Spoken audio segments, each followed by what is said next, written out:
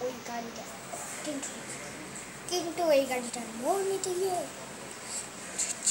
হুম, কাল রাত ব্যাংকে ব্যাংকে পুলিশ ধরেছে ওই ট্রেনটাকে। কিন্তু এই খবরের রাস্তার অবস্থা ভালো না। রাস্তার অবস্থা খুবই খারাপ। সাবধানে চলবে আপনি